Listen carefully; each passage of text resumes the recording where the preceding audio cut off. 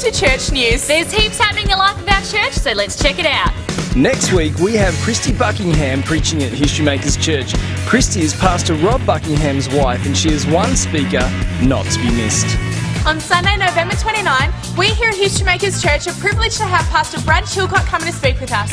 Pastor Brad is the senior pastor of Activate Life Church in Adelaide. He's also the founder of an incredible festival called Another Way to Love, which promotes mission and justice.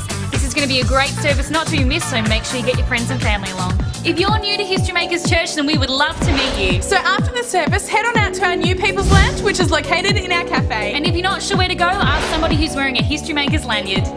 Here at History Makers Church, we would love to partner with you in believing that your prayer is answered. If you have a prayer request, you can fill out a form from the information desk today and pop it in the communications box. Your prayer request will then be prayed over at either our Wednesday worship and prayer service or our Sunday morning session.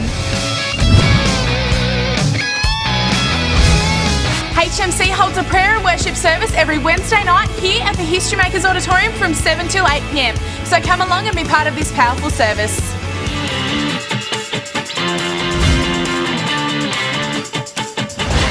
Hey church, I really just want to take the opportunity to thank you, to encourage you in the realm of your missions and justice giving.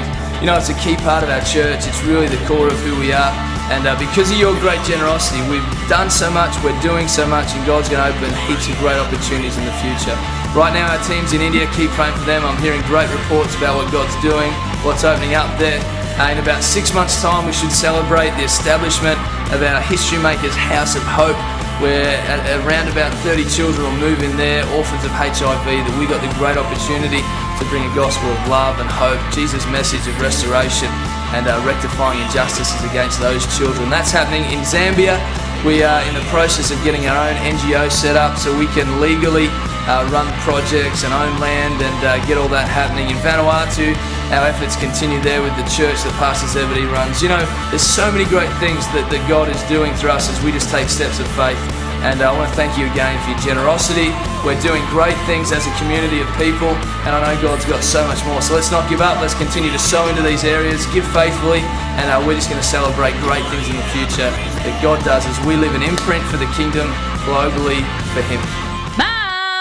Listen up, mums. HMC has an incredible new mum's room where you can take your baby if they need feeding or settling. There's a live feed of the service on a massive flat screen for you to stay connected to the church service. So check it out today through the cafe and then through the red door. If you're interested in being part of a college elective or you're wondering what to do next year, HM College offers part time and full time courses. You can check out the website at www.hmcollegebendigo.com or see Pastor Bruce Claridge after the service. HMC is holding a water baptism service on December the 6th. If you'd like to get water baptised or you'd like to find out more information, please see Pastor Jan Claridge after the service.